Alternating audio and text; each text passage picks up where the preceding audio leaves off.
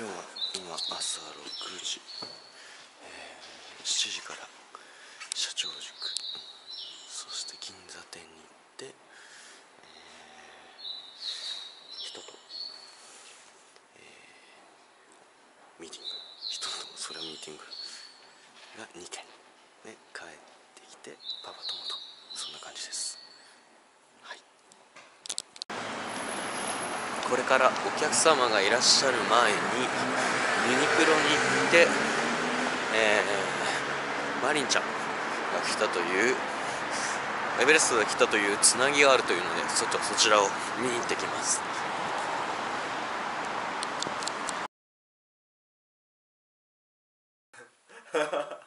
動画じゃないんだね。みんな動かないっていう。で顔は分かんない顔は顔出し NG なんで。